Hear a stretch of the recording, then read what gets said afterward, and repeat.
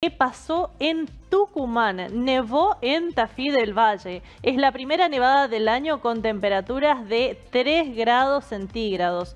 Tucumán es otra de las provincias en donde se registra un marcado descenso de la temperatura. En el caso de Tafí del Valle, este lunes amaneció vestido de blanco, ya que se registró la primera nevada del año. Las lluvias comenzaron anoche y la mínima de este lunes fue de 3 grados centígrados.